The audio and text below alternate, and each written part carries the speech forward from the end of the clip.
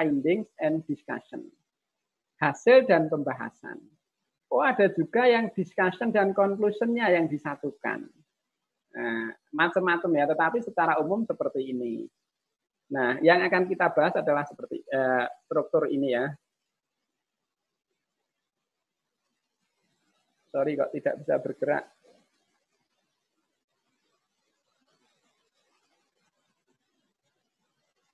Oke.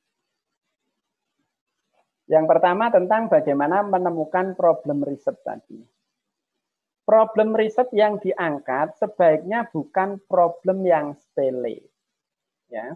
Jadi sebenarnya eh, ya semua penelitian itu berawal dari adanya sebuah masalah yang perlu dijawab, perlu diselesaikan. Ada fenomena-fenomena menarik yang belum bisa dijelaskan, belum ada teori yang bisa menjelaskan ada kesenjangan antara idealitas dengan realitas seperti itu. Tapi harus dipastikan bahwa tentu kalau ingin artikel kita terbit di jurnal-jurnal yang baik tadi, jurnal-jurnal yang internasional bereputasi misalkan, harus memastikan bahwa eh, masalah yang kita angkat itu bukan masalah yang sepele. Kita harus bisa menjawab so what question dari problem yang diangkat. Kalau problem itu bisa diselesaikan, Lalu apa manfaatnya? Mungkin pernah kita ya eh, kadang-kadang itu begini, bisa juga kalau dosen itu kasus mahasiswanya. Wah, masalah ini belum ada yang membahas, Pak.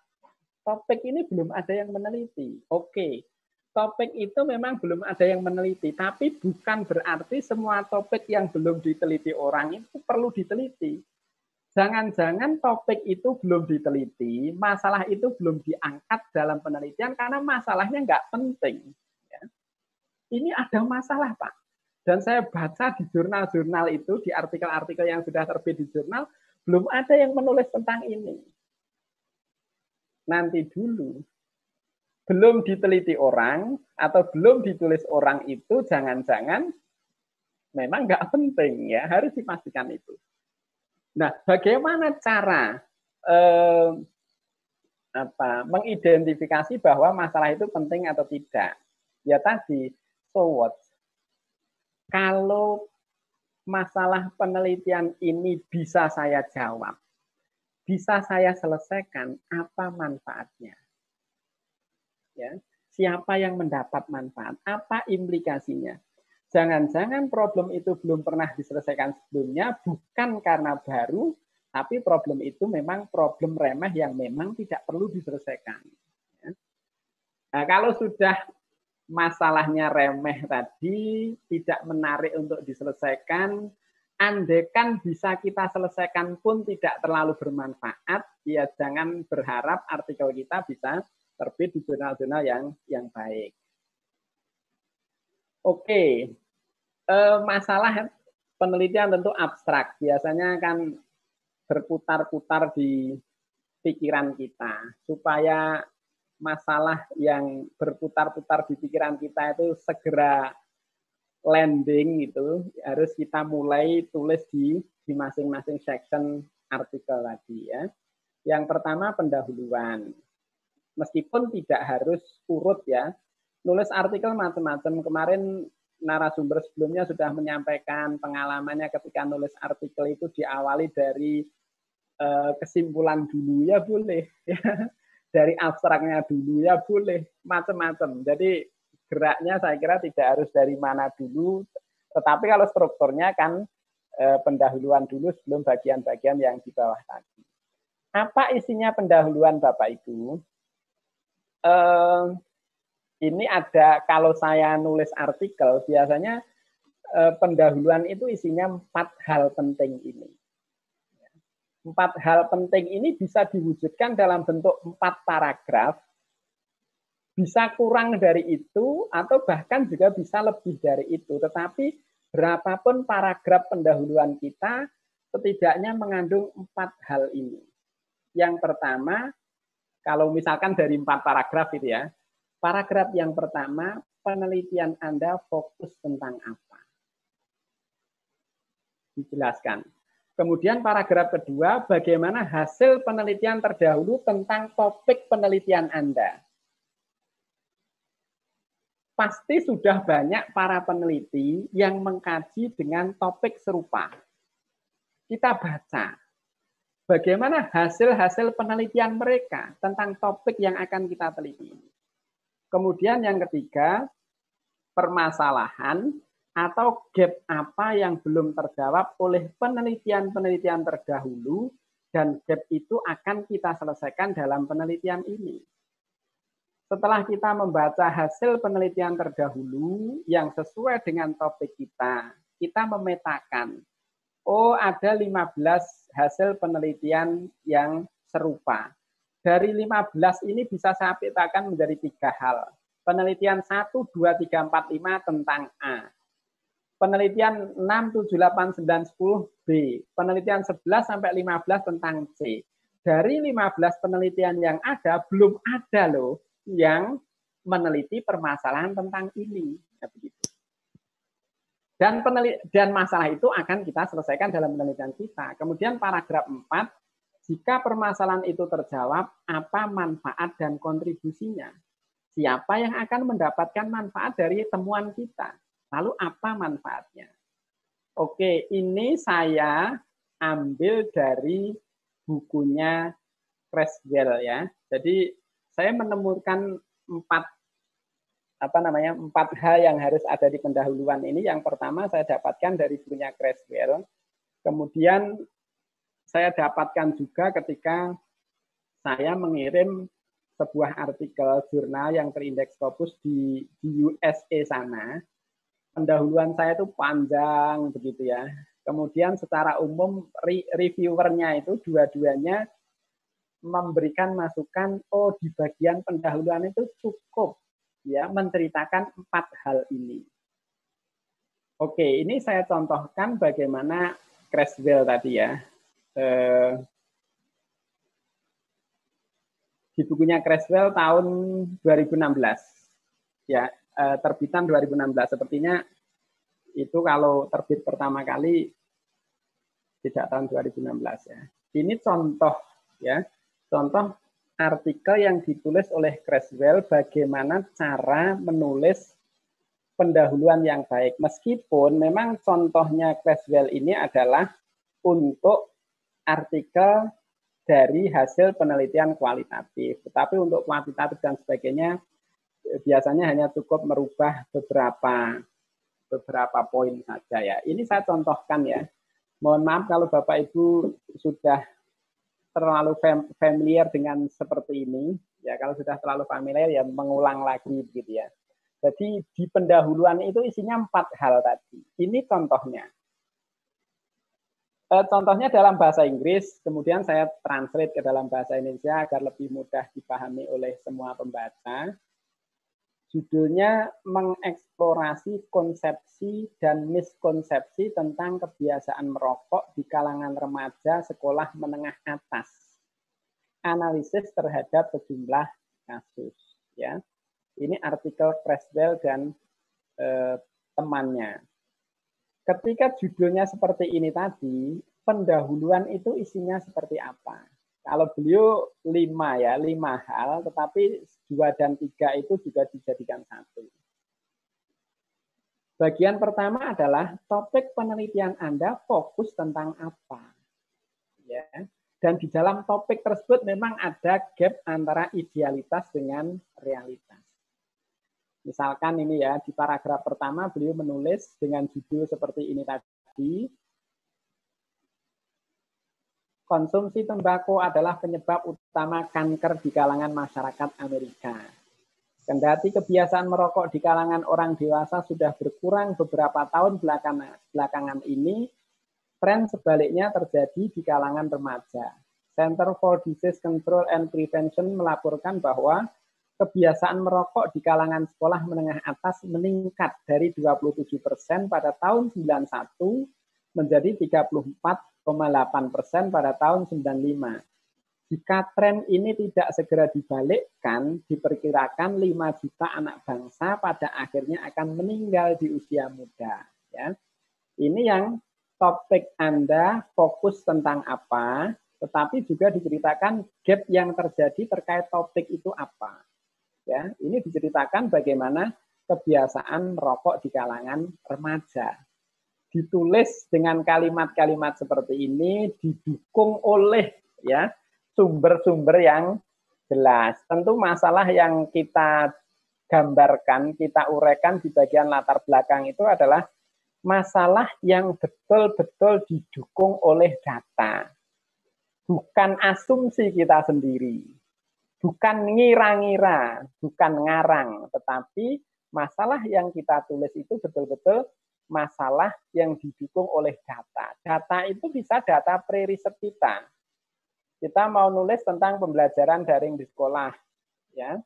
Ya, apa hasil riset kita di sekolah tentang pembelajaran daring? Apa kata guru ketika kita wawancara dengan mereka? Apa yang dirasakan siswa? Apa yang dirasakan orang tua? Tentu itu juga bagian dari data yang bisa mendukung permasalahan kita. Bisa juga dari hasil penelitian-penelitian relevan tadi, dikutip seperti ini, ya, dari uh, Center for Disease Control and Prevention ini dikutip ya bahwa masalah yang diungkapkan oleh Creswell di sini memang datanya ada valid tidak dibuat-buat. Kemudian paragraf kedua kalau bahasanya Creswell itu masalah-masalah penelitian dan bukti-bukti literatur yang membenarkan adanya permasalahan. Ini paragraf kedua tentu harus sudah bisa membaca banyak literatur terkait dengan topik yang kita angkat. Ya. Misalkan ini, penelitian sebelumnya tentang konsumsi tembakau oleh remaja berfokus pada empat topik primer. Ya. Kalau ini, kalau contoh artikelnya Creswell ini adalah contoh yang antara literatur review dengan introduction itu dijadikan satu. Ya. Kalau yang saya contohkan di slide tadi itu dipisah. Jadi memang tapi tadi juga sudah saya sampaikan tergantung eh, gaya selingkung jurnalnya masing-masing. Ada yang introduction itu sudah sekaligus mengandung aspek literatur review. Kalau contohnya eh, Creswell ini ini juga sekaligus memasukkan bagian eh, literatur review di, untuk mendukung masalah-masalah tadi. Nah, jadi Creswell itu sudah penelitian sebelumnya tentang konsumsi tembakau oleh remaja berfokus pada empat topik primer. Beliau sudah memetakan ini loh para peneliti terdahulu yang meneliti tentang kebiasaan merokok di kalangan remaja itu bisa dibagi menjadi empat. Yang pertama adalah, yang kedua adalah, yang ketiga adalah, yang keempat adalah. Nah, tentu itu semua sumber-sumbernya juga harus dicantumkan di sini.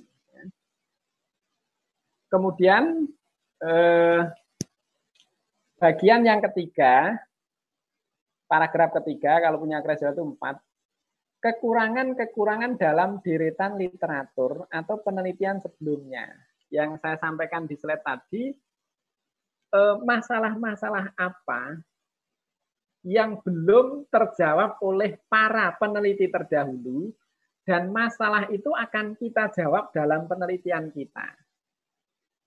Nah, beliau mengatakan seperti ini.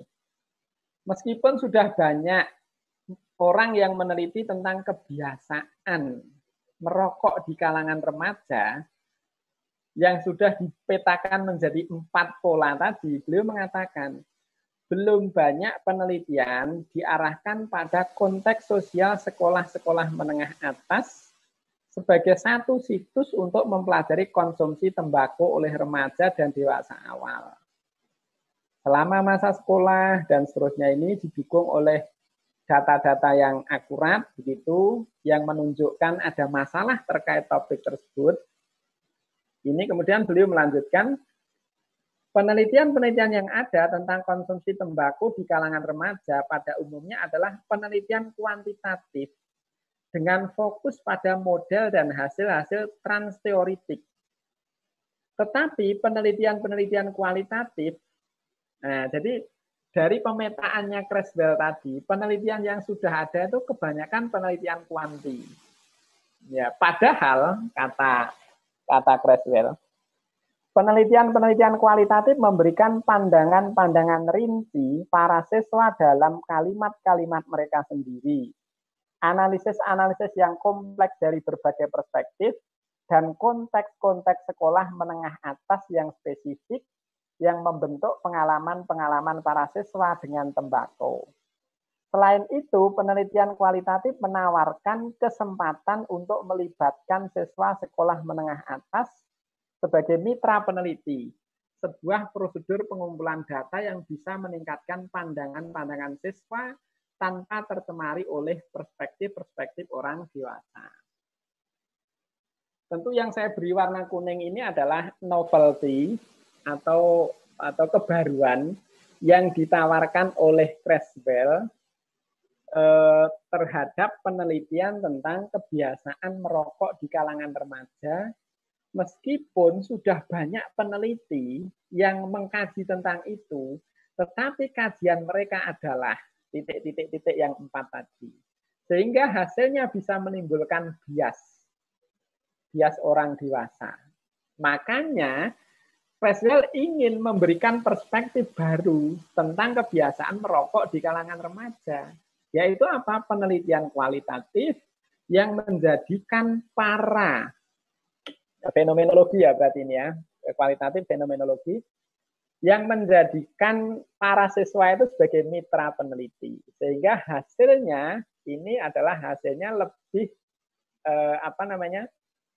katakanlah mungkin lebih punya empati kepada kalangan remaja yang sering merokok tadi. Itu adalah novelty-nya. Kemudian yang terakhir, audiens yang akan mengambil manfaat dari penelitian yang akan menjawab kekurangan-kekurangan tersebut. Nah, kalau permasalahan itu kita ungkap atau kita selesaikan, lalu apa manfaatnya? Siapa yang akan mendapat manfaat? Ini ditulis dengan seperti ini, kemudian yang saya eh, stabilo warna kuning, Kalangan pengelola sekolah dan para guru bisa merencanakan berbagai intervensi untuk mencegah atau mengubah berbagai sikap terhadap kebiasaan merokok. Dan para pejabat sekolah bisa membantu dalam langkah-langkah menghentikan kebiasaan merokok atau dengan program-program intervensi lainnya.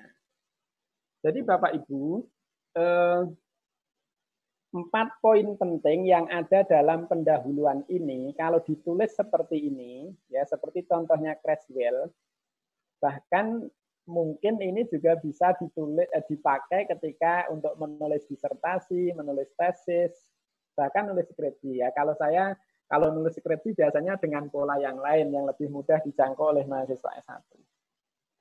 Kalau ditulis seperti ini, misalkan ditanya orang, kebaruannya apa dari penelitian Anda? Itu terjawab. Kontribusi terhadap pengembangan keilmuannya apa? Itu terjawab. Manfaatnya apa? Itu terjawab semua di empat paragraf ini ya. Jadi berbagai pertanyaan-pertanyaan yang selama ini memang harus ada di bagian pendahuluan. Kalau dengan pola seperti ini, insya Allah semuanya bisa terjawab. Ya, saya eh, tampilkan lagi contoh yang lain Bapak Ibu. Eh, memang panjang ya, kadang-kadang pendahuluan saja ini diskusinya satu sesi ya. Tapi nggak apa-apalah. Ini ini saya tampilkan tentang kebaruan tadi loh ya yang perlu diuraikan dalam pendahuluan. Ini Tadi saya mendapatkan artikelnya milik Steger dan kawan-kawan. Kebetulan saya sedang eh, apa namanya topik besar penelitian yang saya lakukan sekarang itu tentang meaning in life. Karena saya itu di pendidikan, maka meaning in life for teachers, for yang lain-lain ya. Jadi uh, urgensi makna hidup bagi guru dalam meningkatkan komitmen kerja, dedikasi dan seperti itu ya. Ketika saya mencari referensi-referensi yang terkait dengan itu, saya menemukan uh, artikel yang ditulis oleh Steger dan kawan-kawan. Ini sudah cukup lama, tahun 2013. Tapi saya mendapatkan ilmu penting bagaimana tadi mengisi telah kebaruan the, the mind's eyes, a photographic method for understanding meaning in people's life ya. kira-kira masalahnya ini sebenarnya jadi kebaruan itu bukan sesuatu yang bombastis. Sehingga kalau kita apa diskusi dengan mahasiswa S2, S3 itu kadang sering kali tertulis kalimat seperti ini. Belum ada satupun yang meneliti tentang, gitu kan. Ya, orang kalau bilang begitu kemungkinannya dua. Yang pertama, dia belum baca sebenarnya sudah banyak yang meneliti tentang itu, tetapi karena dia belum membaca sehingga dia tidak tahu. Yang kedua, sebenarnya dia sudah membaca tapi berbohong. Ya. Jadi mengutarakan kebaruan tidak harus sebombastis ini. Jadi kalau Steger ini, dia artikelnya banyak sekali tentang meaning in life karena pakar psikologi. Yang tergambar dalam artikel ini adalah ini. Jadi penelitian tentang meaning in life sebelumnya itu banyak eh, kebanyakan dilakukan dengan penelitian kuantitatif, survei atau ya angket evaluasi diri. Jadi masing-masing uh, siswa, guru, orang itu diminta untuk mengisi angket tentang makna hidupnya. Mayoritas penelitian tentang meaning in life dilakukan dengan cara seperti itu. Padahal menurut beliau tentu juga didukung oleh eh, kajian pustaka yang lain. Beliau mengatakan bahwa loh, tidak semua orang itu punya kemampuan untuk menyampaikan ide secara verbal, secara tertulis maupun secara lisan. Sehingga penelitian-penelitian tentang meaning and life seperti ini tidak bisa mewakili ya kelompok tertentu di mana mereka memang tidak cakap dalam menyampaikan eh, apa itu ide-ide dengan secara tertulis maupun dengan lisan. Nah, itu itu gap yang yang luar biasa ternyata ya dalam gap yang laku sehingga beliau menawarkan ingin meneliti tentang bagaimana mengukur meaning and life seseorang dengan menggunakan fotografi ya dengan menggunakan fotografi sehingga hasilnya itu tidak bias terhadap orang-orang yang memang tidak punya kemampuan dalam menyampaikan ide secara verbal tadi, ya secara tertulis maupun secara lisan. Itu contoh bagaimana seorang peneliti menyampaikan atau mengisi telah kebaruan yang sebenarnya kecil tapi penting gitu untuk mengisi celah tertentu yang belum diisi oleh orang lain. Ini tentu juga seperti contoh yang disampaikan Creswell tadi ya. Nah, itu yang perlu kita uraikan dalam bagian pendahuluan. Kemudian kita lanjutkan. Maaf Pak, eh, Pak Sukirman, saya tak sampai 14.30 ya. Nanti sesampainya di mana terus kita diskusi. Eh, nanti saya tambahkan hal-hal yang memang masih penting gitu. Oke, literatur review. Kalau memang di bagian introduction itu tidak include literatur review, berarti literatur review harus ditulis di bagian section tersendiri. Apa isinya? Apa yang sudah kita ketahui tentang topik penelitian ini? apa karakteristik dari konsep kunci atau faktor atau variabel utama yang kita teliti. Apa hubungan antara konsep, faktor, atau variabel kunci tersebut, seperti apa teori yang sudah ada yang relevan dengan eh, topik itu, di mana ketidakkonsistenan atau kekurangan lain dalam pengetahuan dan pemahaman kita. Ya, ini tentu pertanyaan-pertanyaan yang menjadi bahan kita untuk merangkai ketika judul penelitian saya seperti ini, ketika masalahnya seperti ini, eh, poin-poin penting apa yang harus ada di literatur, literatur review. Sangat bagus jika dipandu oleh keywords yang sudah ditulis. Rujukan sebaiknya berasal dari artikel-artikel terbitan terbaru. Saya berikan contoh lagi Bapak Ibu ya. Eh, saya tampilkan contoh orang lain, bukan contoh tulisan saya sendiri. Ya, eh, saya men, saya mempelajari artikel-artikel orang lain dengan dengan kualitas yang bagus itu hasilnya seperti tulisan saya yang jelek itu ya. Nah kalau di siang hari ini saya tampilkan tulisan yang saya yang jelek, nanti Bapak Ibu hasilnya jauh lebih jelek lagi begitu ya. Jadi saya contohkan yang bagus.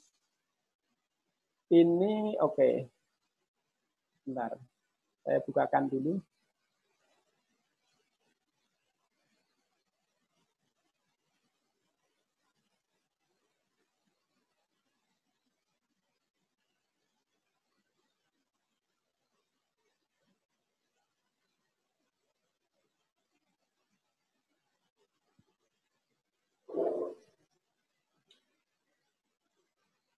Contoh literatur review, saya terjemahkan dari artikelnya Cameron Houseman, terbit tahun 2020 di Jurnal Internasional Terindeks Scopus Q2 ya, SDR-nya hampir satu ini, bagus.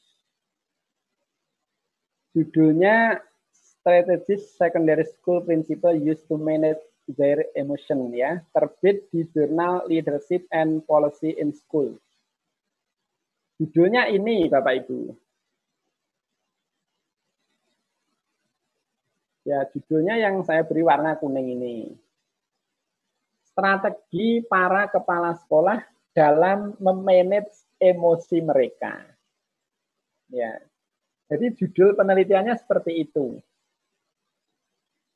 Kalau judul penelitiannya seperti itu, sekaligus masalahnya juga sudah diuraikan di bab pendahuluan, Lalu apa sih yang ada di bagian literatur review? Tentu kalau teorinya tadi seperti yang saya ungkap di, di PowerPoint tadi seperti ini. Apa saja yang harus ada? Kalau ini literatur review isinya berupa pandangan kritis peneliti terhadap penelitian yang sudah ada, yang penting bagi penelitian yang dilakukan tidak hanya memberikan deskripsi singkat tentang misalnya sebuah artikel, tetapi kita perlu memilih bagian penelitian yang akan dibahas. Misalnya metodologinya, menunjukkan bagaimana hubungannya dengan pekerjaan lain. Apakah metodologi lain yang bisa telah digunakan? Bagaimana, apakah mereka serupa, bagaimana mereka berbeda, dan tunjukkan bagaimana hubungannya dengan pekerjaan Anda. Apa hubungannya dengan metodologi yang Anda pakai. Ini tadi contoh ketika penelitiannya judulnya seperti ini, ya. Kemudian masalahnya juga sudah diuraikan.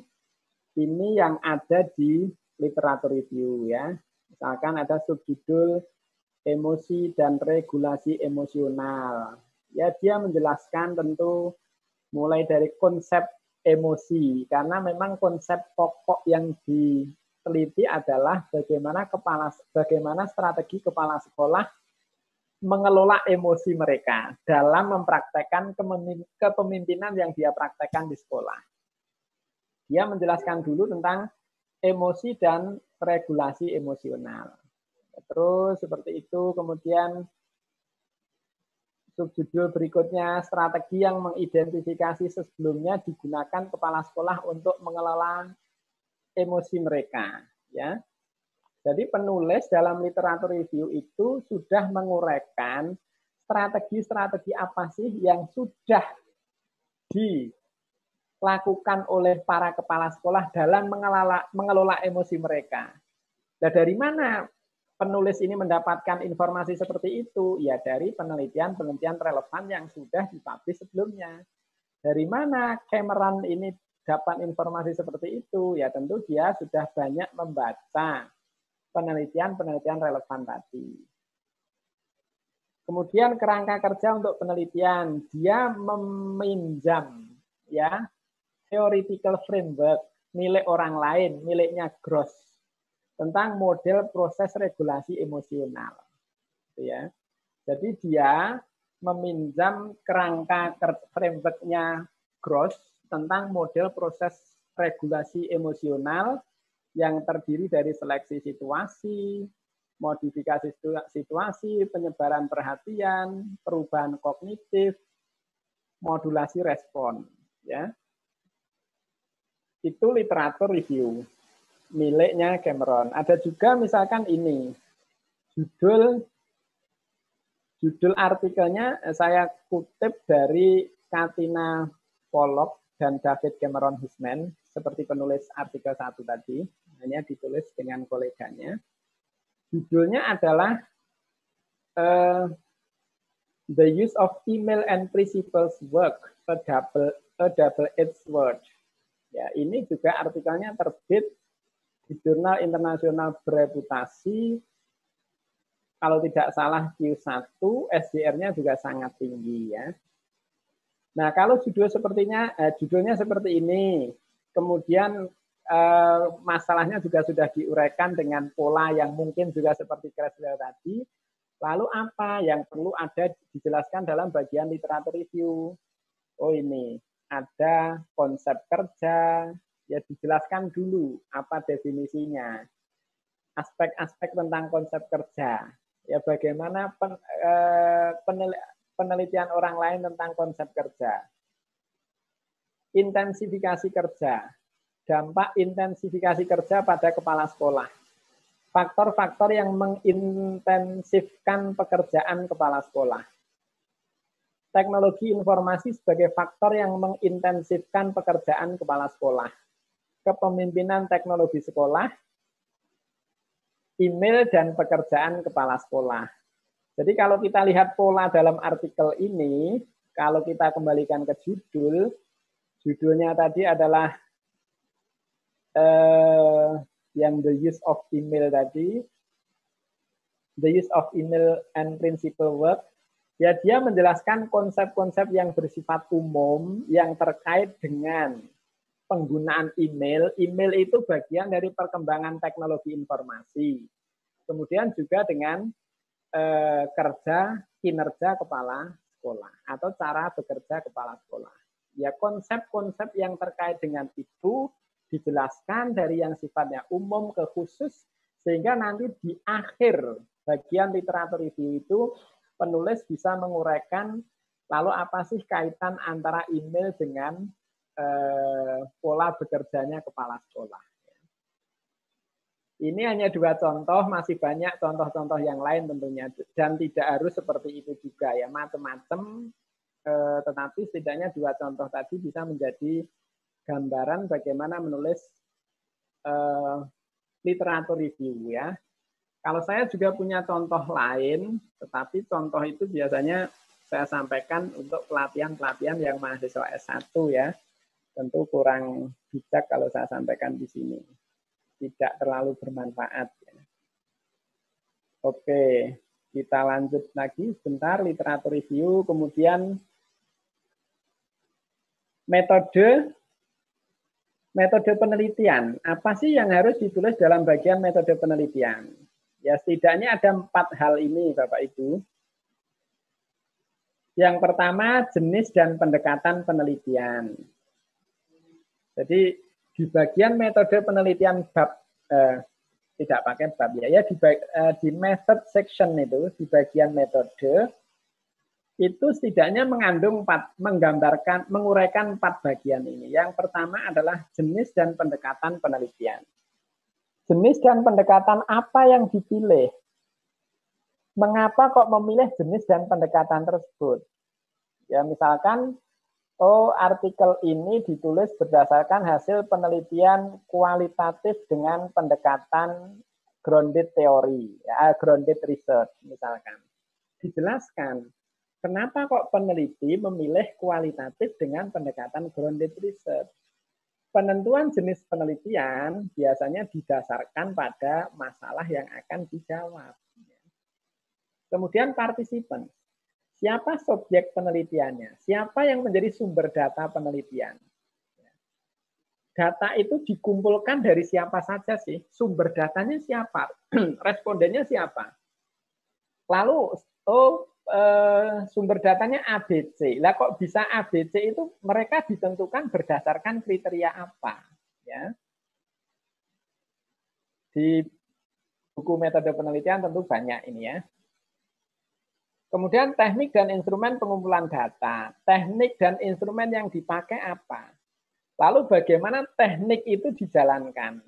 Oh, pengumpulan datanya pakai teknik wawancara terstruktur atau semi terstruktur.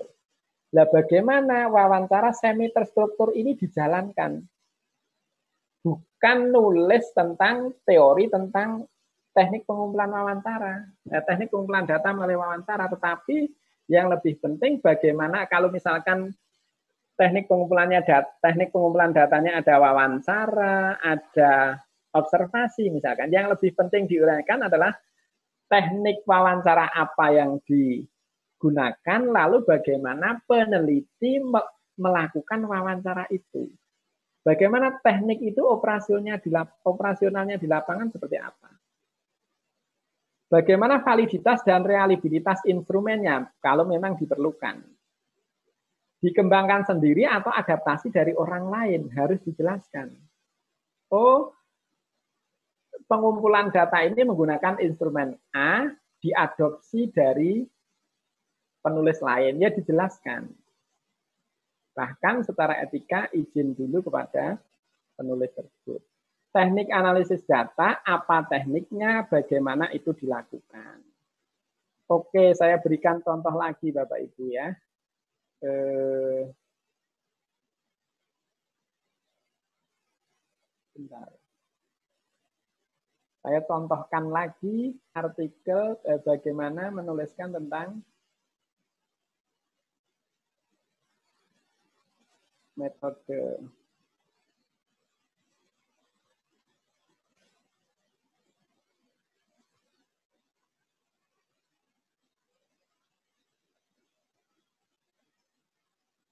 menulis metode penelitian.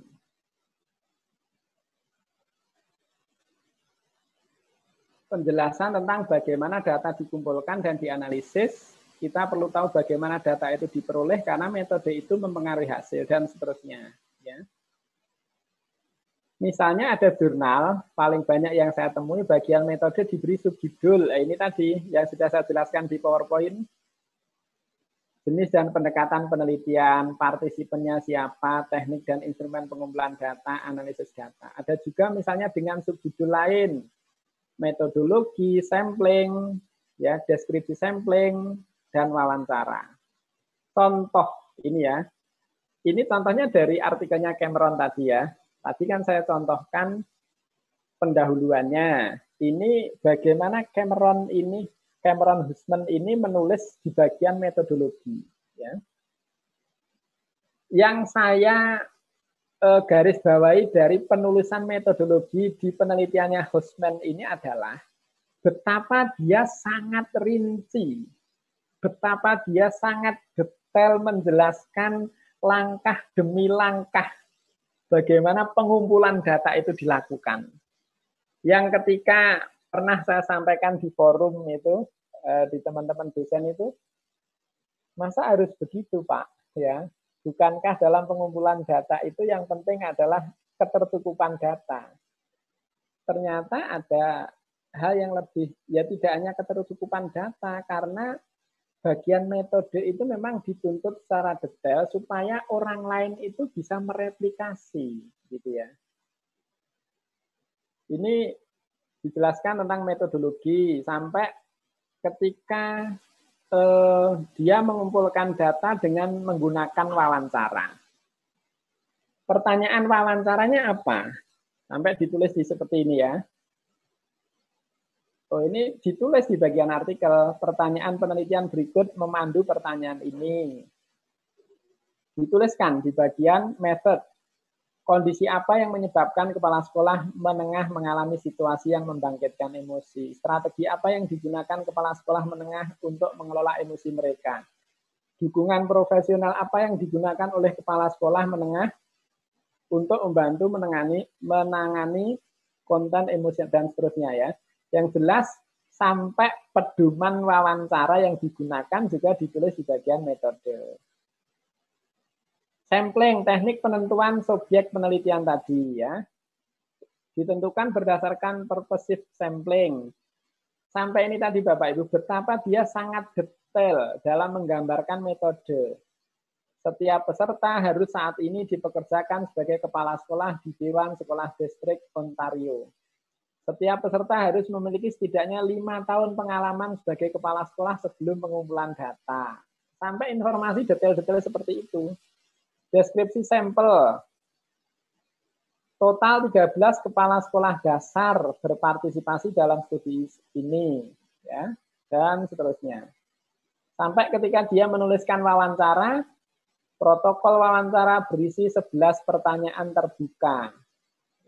Saya memberikan pertanyaan kepada peserta sebelum wawancara terjadi dan memberi mereka kesempatan untuk merevisi transkrip wawancara untuk keakuratan dan untuk menambahkan apa pun yang mungkin mereka lewatkan selama wawancara. Wawancara terpanjang adalah 43 menit dan 24 detik dan terpendek adalah 22 menit dan 5 detik. Jadi sampai sedetail itu karena pembaca itu juga perlu tahu objektivitas bagaimana data itu dikumpulkan karena metode ini akan sangat mempengaruhi hasil penelitian. Kemudian analisis datanya dilakukan dengan cara seperti apa ya.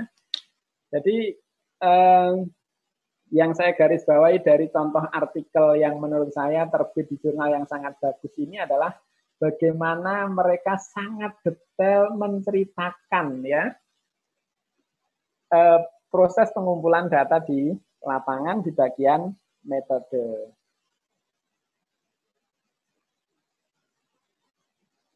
Ini sudah setengah tiga. Sebentar, uh, satu lagi kalau gitu kok. Findings, temuan apa yang diperoleh oleh peneliti. Findings berisi display hasil penelitian yang telah diolah peneliti. Dalam penelitian kualitatif biasanya dalam bentuk tema-tema utama yang ditemukan oleh peneliti, tema dibentuk oleh kategori, dan kategori dibentuk oleh kode-kode tertentu. Oke ya. Discussion, tema-tema yang telah didisplay di bagian findings didiskusikan dengan teori dan temuan-temuan penelitian sebelumnya. Biasanya dalam bagian discussion itu kalimat khasnya seperti ini Bapak Ibu ya. Temuan penelitian ini selaras dengan, sependapat dengan, memperkuat, melengkapi, membuktikan, berbeda dengan, mengkritik teori. Tentu juga harus dijelaskan mengapa bisa selaras, memperkuat, berbeda, mengkritik, menjelaskan aspek-aspek spesifiknya. Contohnya juga ada, tetapi ini sudah jam 14.30.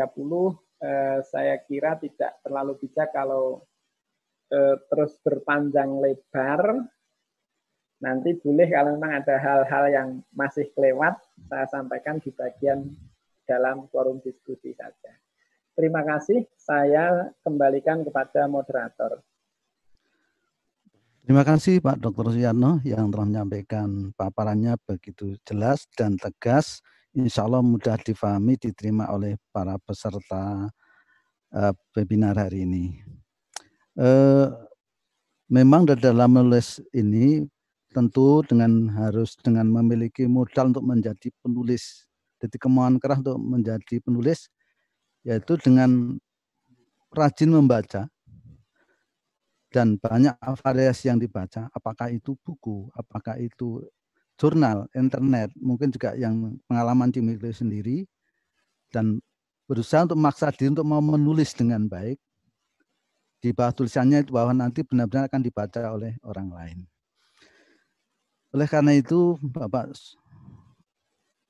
Bapak narasumber ini ada masukan Bapak Suyatno dari pertama dari Pak Suhari Heri ini memberikan komentar bahwa kerangka berpikir menggunakan mapping penelitian dan melalui jurnal Scopus agar bisa menghasilkan ide penelitian yang baik.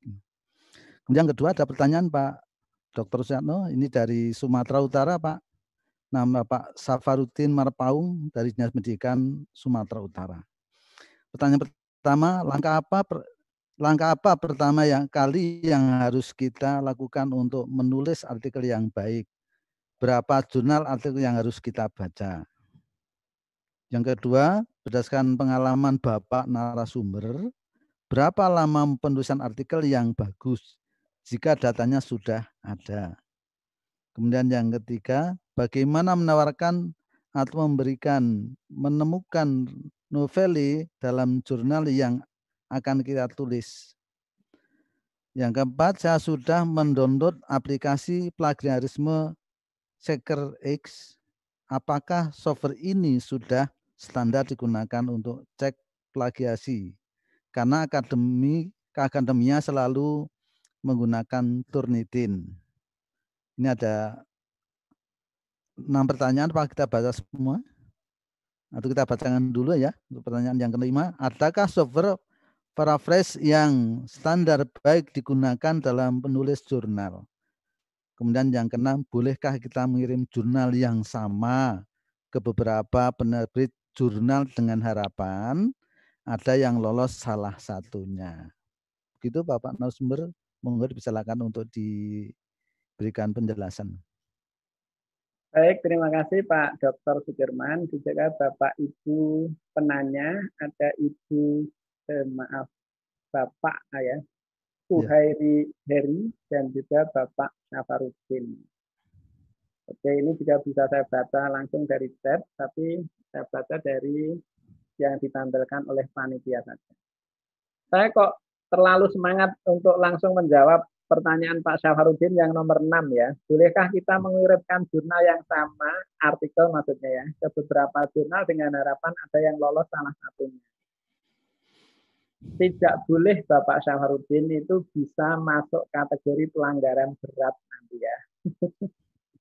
Jadi mohon juga untuk Bapak Ibu yang lain, pertanyaan jawaban terhadap pertanyaan Pak Syafar yang keenam ini, eh, pertanyaan ya, pertanyaannya Pak Syafarudin yang keenam ini, bolehkah kita mengirimkan artikel yang sama ke beberapa jurnal?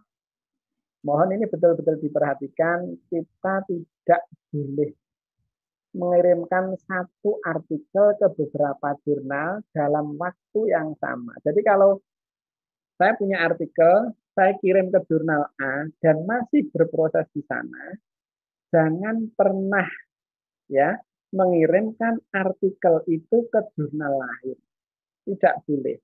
Itu eh, pelanggaran etika publikasi yang berat biasanya, ya.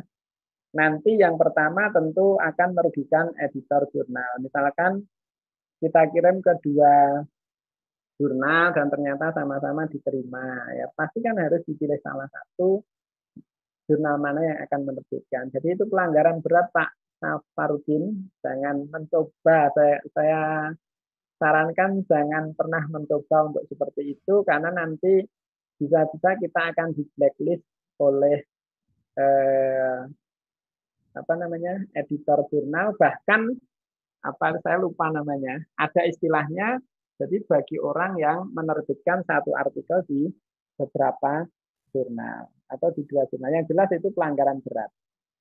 Jadi kalau sudah kita submit ke jurnal A dan berproses di sana, ya ditunggu sampai proses itu selesai. Proses selesai itu apakah mendapat jawaban oleh editor jurnal A diterima dengan revisi. Kalau diterima dengan revisi, ya direvisi, dikirim lagi sampai diterima, di, uh, publish di jurnal tersebut. Atau di respon oleh editor itu maksudnya bahwa artikel Bapak ditolak. Nah, kalau sudah dinyatakan oleh uh, ditolak oleh editor jurnal A, baru kita bisa mengirimkan artikel tersebut ke jurnal yang yang lain. Jadi pada prinsipnya seperti itu. Oke, saya tak ke pertanyaannya Bapak Suhairi Heri dulu. Kerangka berpikir menggunakan mapping penelitian dari jurnal-jurnal yang terindeks Scopus. Nah, tentu yang bisa membuat mapping penelitian itu ya peneliti sendiri Bapak Ibu ya. Karena logikanya peneliti yang paling paham tentang topik yang diteliti. Saya nggak bisa ya mungkin contoh-contoh yang pernah saya lakukan ada yang meskipun tidak terdokumentasi dengan baik, tetapi memang yang melakukan mapping penelitian itu ya peneliti sendiri. Karena dia kalau misalkan ya katakanlah kebetulan eh, beberapa waktu yang lalu saya itu tulisan-tulisan saya tentang values ya tentu sejak beberapa lama saya sudah membaca artikel buku tentang values sehingga saya bisa memetakan penelitian-penelitian tentang values education adalah gitu. Tetapi saya membuat bisa membuat mapping seperti itu setelah cukup lama membaca, mendalami penelitian-penelitian tentang values. Kalau sekarang sedang senang meneliti tentang meaning in life ya, makna hidup konteksnya adalah dalam dunia pendidikan.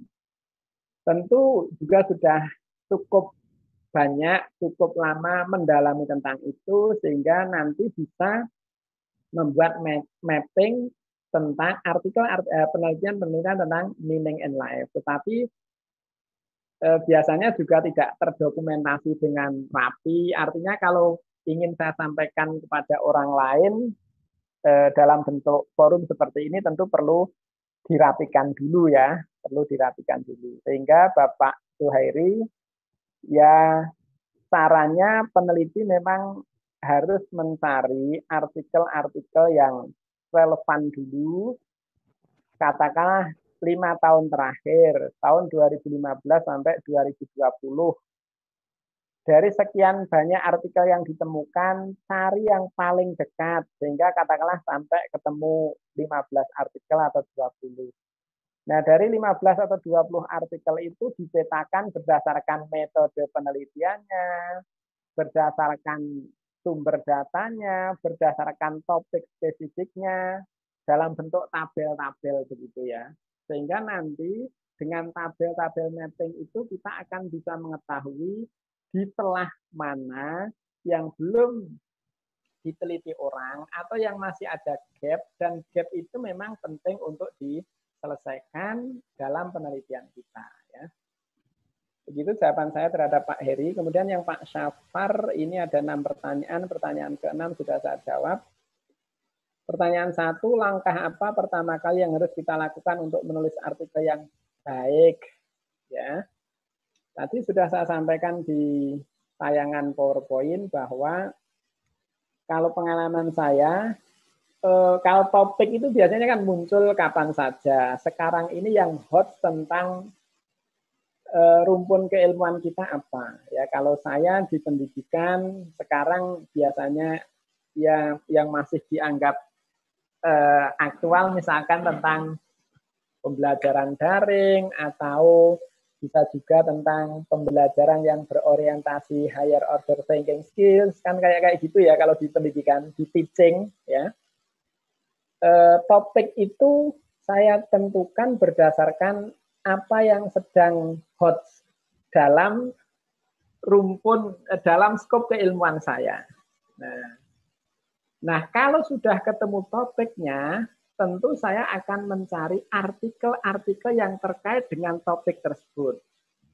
Ya, katakanlah tadi ya eh, tidak harus banyak-banyak ya Bapak Ibu. Kalau saya bilang 20, 30, jangan-jangan nanti ada yang tidak yang takut dulu ya.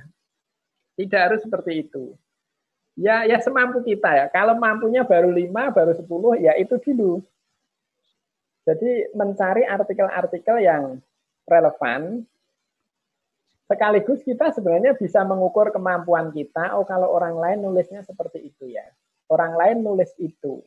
Ya, dari lima artikel yang saya temukan, eh, lima artikel itu tentang AB. Oh, ternyata ada eh, topik ABC yang perlu diteliti. Begitu Pak eh, Safarudin, jadi langkahnya setelah menentukan topik adalah mencari artikel ya. Berapa jurnal artikel yang harus kita baca? Tadi kalimat saya adalah sebanyak banyak banyak banyaknya. Nah, banyak itu ukuran orang berbeda-beda. Kalau yang baru belajar nulis artikel mungkin 5 sudah cukup banyak, mungkin 10 cukup banyak. Bagi yang sudah passionnya nulis artikel mungkin 100 baru dikatakan banyak. Itu beda-beda ya. Berdasarkan pengalaman Bapak narasumber, berapa lama penulisan artikel yang bagus jika datanya sudah ada? Eh, pengalaman saya beda-beda Pak. Ada artikel yang seminggu jadi. Karena saya betul-betul fokus waktu saya seminggu bisa full tidak terganggu oleh pekerjaan-pekerjaan lain. Saya juga memahami topik tersebut, datanya lengkap. Saya sudah membaca artikel-artikel terkait dengan topik tersebut. Tapi ada juga artikel saya yang selama dua tahun nggak bergeming ya. Dari atau setahun yang lalu masih pendahuluan terus. Nggak beranjak ke bagian metode, nggak beranjak ke bagian literatur review, nggak beranjak ke bagian findings, discussion, apalagi bagian yang paling bawah sana. Karena apa? Saya belum punya cukup ide. Nah, jadi pikiran saya itu belum tercerahkan dalam menyelesaikan permasalahan yang saya angkat. Waktunya juga diganggu oleh pekerjaan-pekerjaan lain yang sangat eh, sangat padat misalkan. Sehingga ya akhirnya sangat relatif juga Pak berapa lama tergantung. Jadi berapa lama itu tergantung waktu kita bisa fokus ke artikel tersebut atau tidak. Yang kedua, apakah kita sudah membaca cukup banyak terkait topik tersebut? Ya, apakah kita sudah cukup paham dari eh, sudah cukup datanya sudah terkumpul, tapi kita nggak paham tentang data kita sendiri karena supaya data kita paham data kita sendiri sampai proses kode, kategori, eh, mengkategorikan, menyusun tema itu kan juga proses yang lama ya. Jadi tidak ada ukuran pasti juga, boleh seminggu, boleh dua bulan, boleh enam bulan, ya tergantung. Tapi tadi kalau saya punya pengalaman misalkan seminggu jadi karena memang fokus untuk nulis artikel itu. Bagaimana menawarkan, memberikan, menemukan novelty dalam jurnal yang akan kita tulis. Nah, tadi eh, di slide nomor satu, ketika kita sudah menentukan topik, kemudian membaca artikel, kita petakan bagaimana kata penelitian terdahulu tentang topik tersebut, lalu apa yang belum dijawab oleh para peneliti terdahulu. Nah, itulah yang namanya novelty. Saya sudah mendownload aplikasi plagiarism checker. Apakah software ini sudah standar digunakan untuk cek plagiasi karena akademi selalu menggunakan Turnitin? Ya, banyak Pak eh, software untuk mengecek plagiarisme eh, dari yang berbayar mahal sampai gratis. Eh, mungkin ya, mungkin antara satu software dengan software yang lain itu akurasinya berbeda. Saya tentu tidak berhak untuk menjawab mana yang paling akurat ya. Eh, tapi sesuai dengan kebutuhan jurnal tujuan saja. Kalau misalkan jurnal tujuan kita itu mewajibkan turnitin, ya diukur pakai turnitin saja. Kalau mereka cukup plagiaris eh, dengan software yang lain ya cukup itu ya. Saya tidak berani menyampaikan mana yang paling akurat ya. Bukan tidak berani, tidak berwenang untuk menyampaikan itu. Adakah software paraphrase yang standar baik digunakan dalam menulis jurnal? Konon ada, Pak. Tapi saya tidak pernah menggunakan dan tidak ingin mengguna, tidak ingin menggunakan. Ya, menurut saya software-software seperti itu justru itu kan mohon maaf mungkin agak membodohi gitu ya. Atau eh, malah apa ya saya bagi saya parafrase itu ya justru eh, keterampilan kita dalam menulis itu ya. Dan itu memang keterampilan itu ya berdasarkan jam terbang kita. Tetapi kalau parafrase kok menurut saya jangan menggunakan software begitu Pak eh, Safarudin demikian Pak Kirman ya. Terima kasih Pak Dr. Siano atas tanggapan dari para pertanyaan. Pertanyaan dari Pak Safarudin Marpong dari Sumatera Utara dan juga tadi Pak Suweri. Barangkali para peserta yang lain barangkali akan mengajukan langsung, monggo silahkan langsung.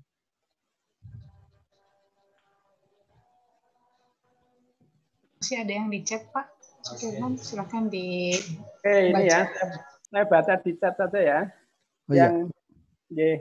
Kalau ada Bapak Ibu yang ingin tanya langsung boleh, tapi ini saya baca lewat chat dulu.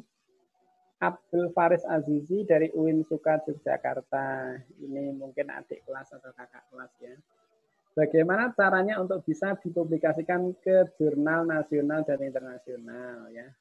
Ya, tentu caranya ya banyak hal seperti yang sudah saya sampaikan dari awal sampai akhir.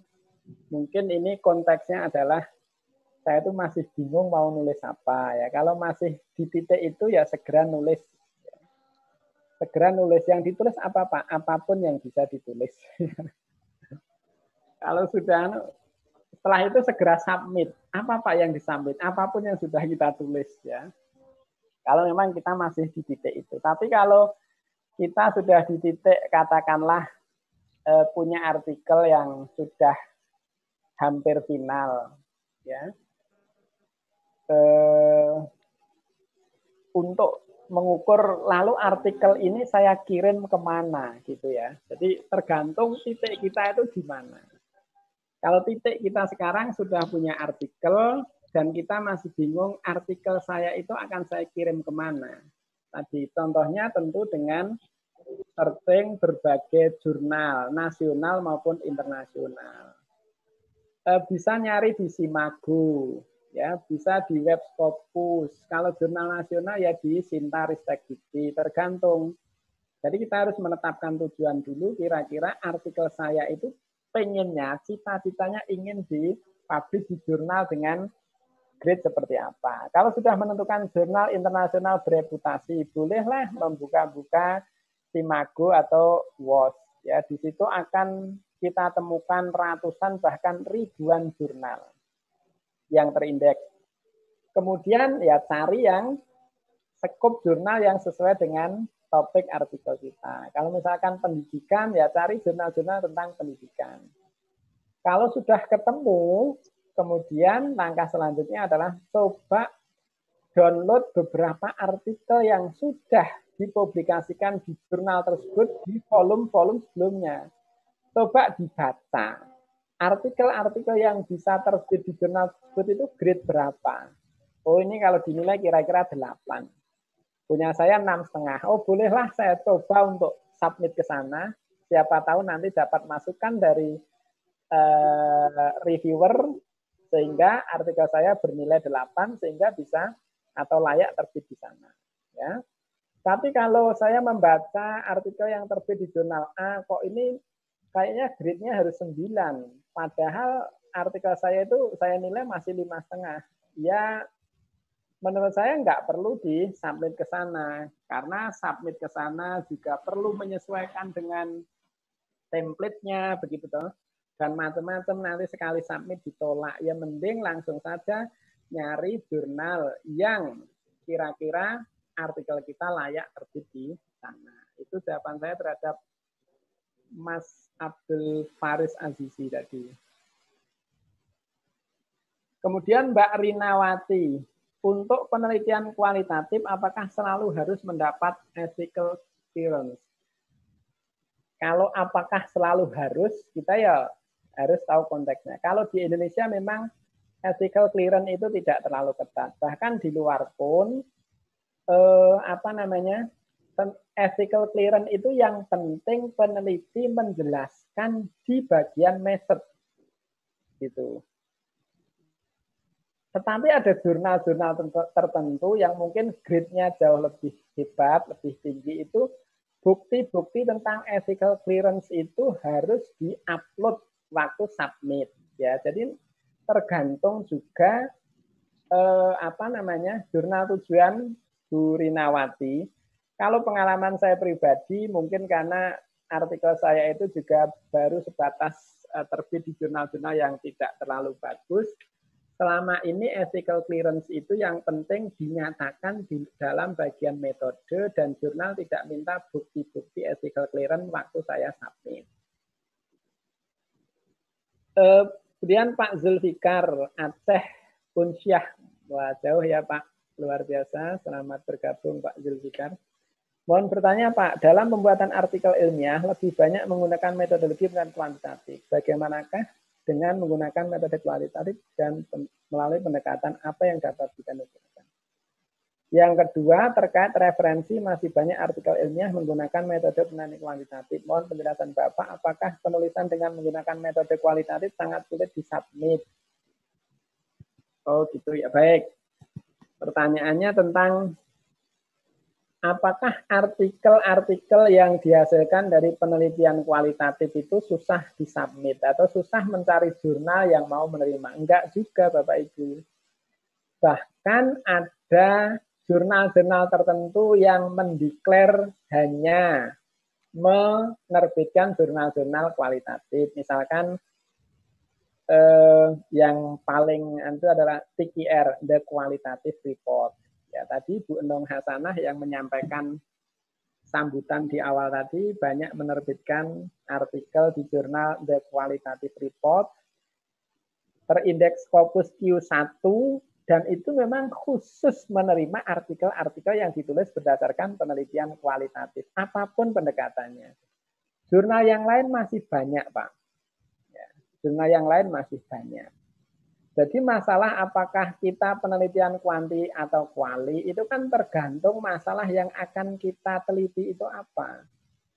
Setelah masalah penelitian yang akan diangkat itu ditentukan, nanti kan kita baru tadi seperti di imrat tadi ya Bapak Ibu, di struktur imrat tadi kan introduction, masalahnya apa?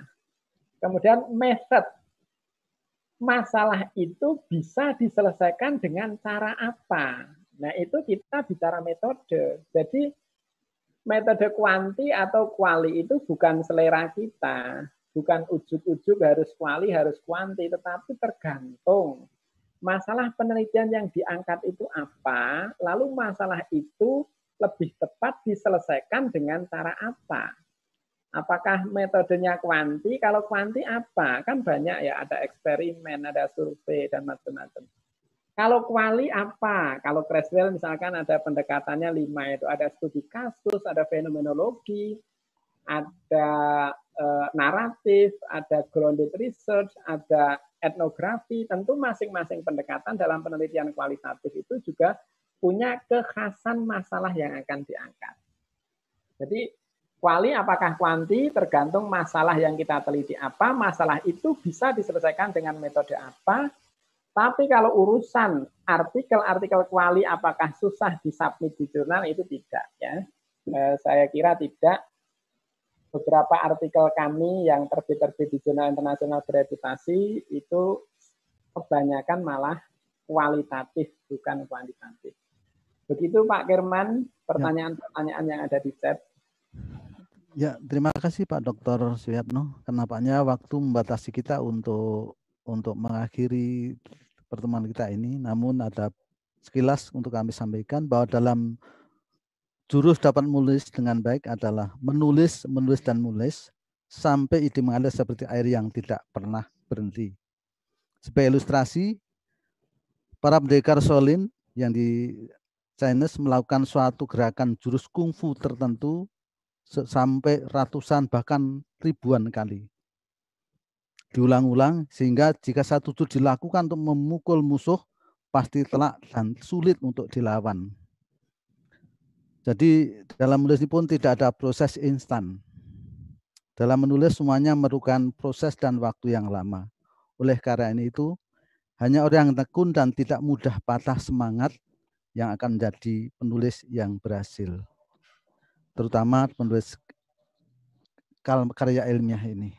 Uh, para peserta yang berbahagia, saya kiranya gitu untuk begitu acara ini dilakukan karena waktu dibatasi dan sudah pukul 15 oleh karena itu apabila kami dalam mengantarkan acara ini banyak kurangnya mohon maaf dan selanjutnya kami serahkan kepada Ibu Dr. Dian Hidayati MM. Terima kasih. Wassalamualaikum warahmatullahi wabarakatuh. Waalaikumsalam warahmatullahi wabarakatuh. Terima kasih Pak Suyatno dan Pak Sakirman. Alhamdulillah kita telah sampai di penghujung acara. Terima kasih banyak kepada narasumber, moderator, serta para peserta yang telah menyimak acara dari awal sampai akhir. Semoga banyak ilmu yang didapat untuk diaplikasikan dalam membantu penulisan artikel ilmiah, terutama untuk artikel di the Second International Conference on Education, Leadership, and Innovation 2020. Saya mewakili panitia yang bertugas menyampaikan mohon maaf atas salah dan kata serta perbuatan sampai bertemu di the Second International Conference on Education, Leadership, and Innovation 2020. Akhir kata, terima kasih dan wassalamualaikum warahmatullahi wabarakatuh. Waalaikumsalam warahmatullahi wabarakatuh.